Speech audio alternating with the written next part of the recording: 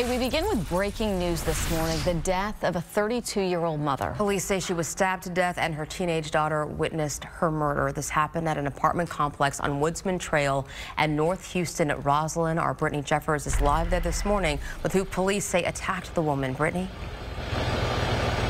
Now, police say that the suspect that's in custody right now is the victim's husband. I want you to take a look. This is uh, where police say this happened last night. They say they found the woman inside of the apartment with knife wounds on her body. Uh, first responders say at some point after they were called out here when they were attending to the 32-year-old victim, they say her husband came back to the apartment and then took off. HFD crews say they were able to get a partial tag number off of his vehicle vehicle.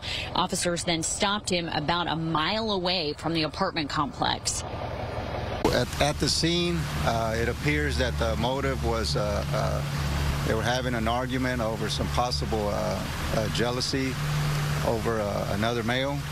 And the, the deceased female is a 32-year-old female. there was also a 13-year-old daughter that witnessed all this. Um, along with another couple who also lives here. Now, police tell us that 13-year-old was not injured. Again, that suspect is in custody, and investigators say that they did find a knife here at the scene. Of course, this is an ongoing investigation. We'll continue to bring you more updates as soon as we learn that. Reporting live, I'm Brittany Jeffers, KPRC 2 News. All right, thank you.